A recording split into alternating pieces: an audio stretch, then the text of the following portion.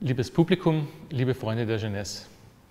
Das vergangene Jahr hat viele Kulturinstitutionen vor große Herausforderungen gestellt und auch deutliche Spuren hinterlassen. Umso mehr freue ich mich als Obmann der Jeunesse, hier zu sein und Ihnen das Programm zu präsentieren. Gemeinsam mit unserem österreichweiten Team haben wir ein gewohnt vielseitiges Programm zusammengestellt, das aber auch einige Überraschungen bereithält.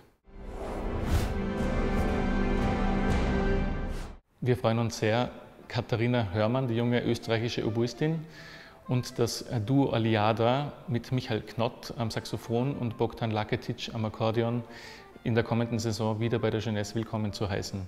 Diese werden als Featured Artist bzw. Featured Ensemble sowohl in Kinderformaten zu hören sein, als auch in Kammermusikkonzerten und im Kontext in einem Orchesterkonzert in ganz Österreich.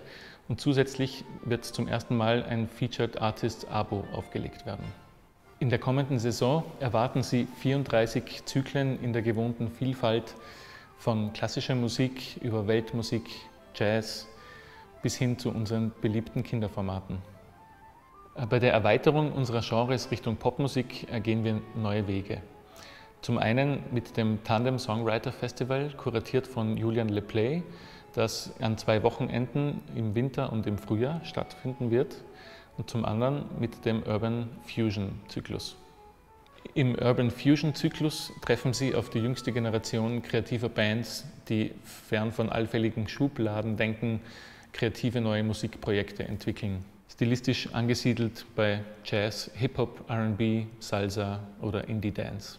Das gewohnt vielseitige Konzertprogramm hält neben den etablierten Zyklen der Wiener Philharmoniker oder Wiener Symphoniker einige Überraschungen bereit, wie zum Beispiel in den neu aufgelegten Zyklen Musik tanzt und Meistersolistinnen sowie den neu aufgelegten Zyklen Amerika, Composing Europe und Fremde Welten.